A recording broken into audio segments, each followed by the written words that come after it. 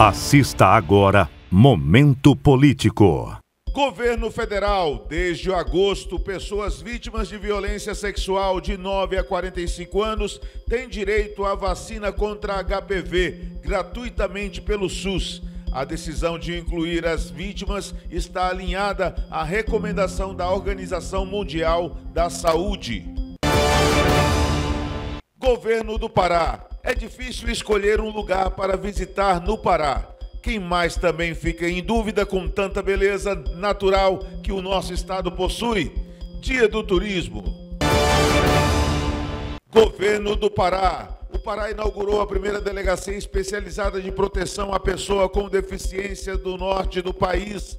Isso só reforça que o Estado trabalha para dar proteção, serviços públicos especializados e para construir políticas públicas garantindo direitos e inclusão para a sociedade.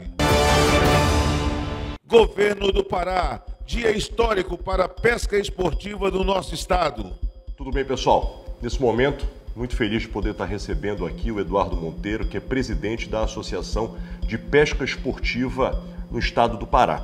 E nós estamos festejando que hoje é um dia histórico. A primeira autorização em unidade de conservação do estado para pesca esportiva.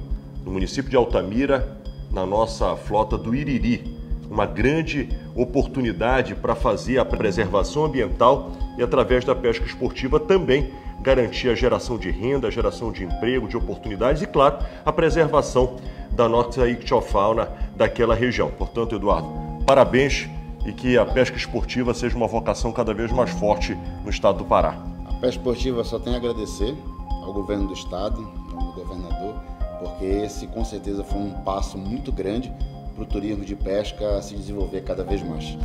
Bora pescar e bora trabalhar. É isso aí.